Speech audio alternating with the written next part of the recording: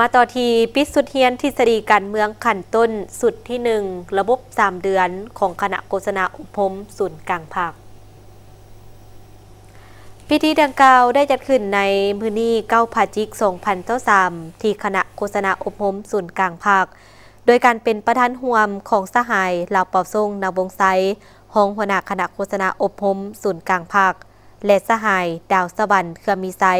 ห้องหัวหน้าสถาบันการเมืองและการปกครองแห่งชาติมีบรรดาองค์การจะตั้งที่เกี่ยวข้องและสมาชิกพรรคพนักงานลักแหล่งที่เข้าร่วม 30 กว่าสหาย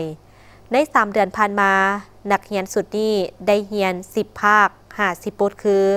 ภาควิชาปัสญามากเลนิน 7 บท เศรษฐศาสตร์การเมืองมากเลนิน 9 บท ลัทธิสังคมนิยมปิทยาศาสตร์ 4 บท การเมืองปิทยา 4 บท สังคมศาสตร์ 4 บท กลุ่มวิชาแนวคิดไก่สอนพรมิหารหาบท ประวัติศาสตร์ผักและก่อสร้างผักสิบบททฤษฎีรัฐและกฎหมายสองบท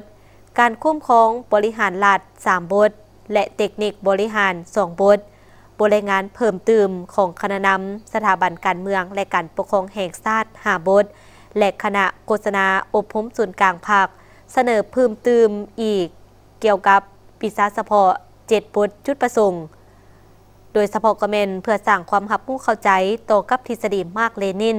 แนวคิดไก่ซอนพมพิหาร และแนวทางนโยบายของภาคระเบียบกฎหมายของรัฐและสร้างทัศนะลักมันทางด้านการเมือง มีพื้นฐานทางด้านทฤษฎี การเมืองในระดับขั้นต้น ให้พนักงานนำพาคุ้มครองเพื่อนำไปจะตั้งปฏิบัติในเปียกงานตัวจริงให้มีคุณภาพ